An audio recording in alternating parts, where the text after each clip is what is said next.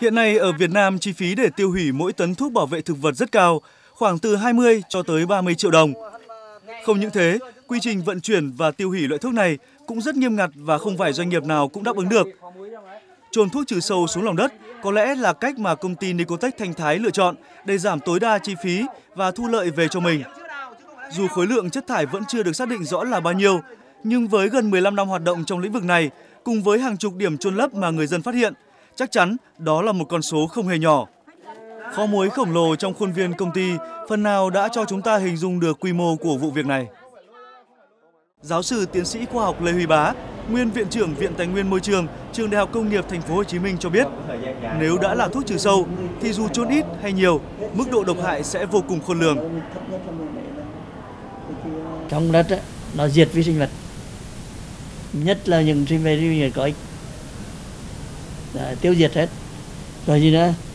Rồi ờ, tác động lên các cái rễ cây. Là nó cũng làm thúi cả rễ cây. Làm hủy hoại rễ cây. Và nguy hại hơn nữa là nó mà xuống mạch nước ngầm. Thì nguy hại cho cả cái vùng lấy nước ngầm để ăn. Trồn thuốc trừ sâu xuống lòng đất cũng đồng nghĩa với việc đầu độc nguồn nước của người dân.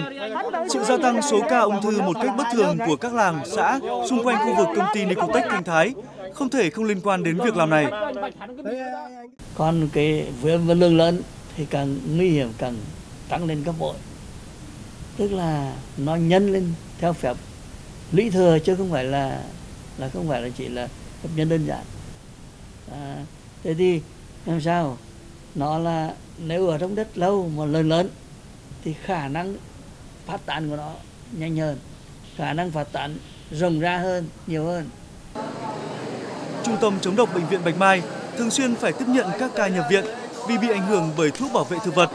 Nhưng theo các bác sĩ, phần nhiều trong số đó bị ngộ độc cấp tính với thời gian tiếp xúc không dài. Vậy nhưng việc chữa trị cũng tốn rất nhiều thời gian và tiền bạc. Bởi vậy những trường hợp bị nhiễm độc thuốc trừ sâu mãn tính trong thời gian dài thì nguy cơ bệnh tật càng lớn hơn.